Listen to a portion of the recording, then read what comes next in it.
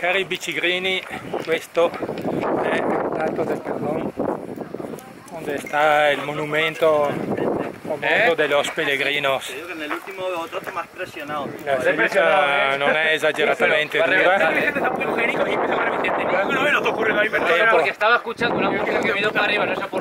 La salita è, dicevo, abbastanza dura ma non esagerata, eh, da- che però sento un bel vento, infatti è pieno, vedete, di pale eoliche, che stanno andando alla grande da una parte e anche dall'altra.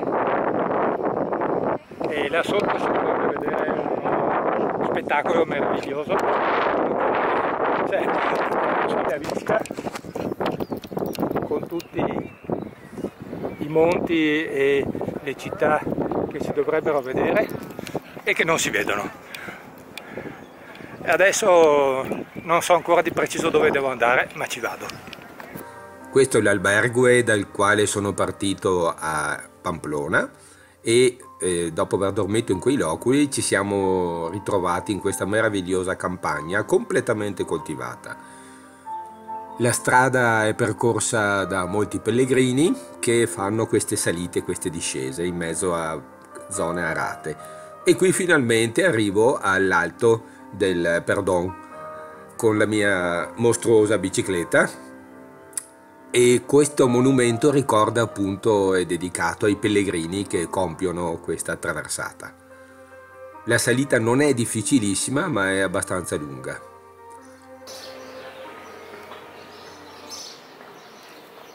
Cari bicicrini, quello che avete appena visto è il ponte della Puente la Reina, costruito da Regina a suo tempo, non so quale, per ehm, permettere il passaggio dei pellegrini. Lo passiamo insieme.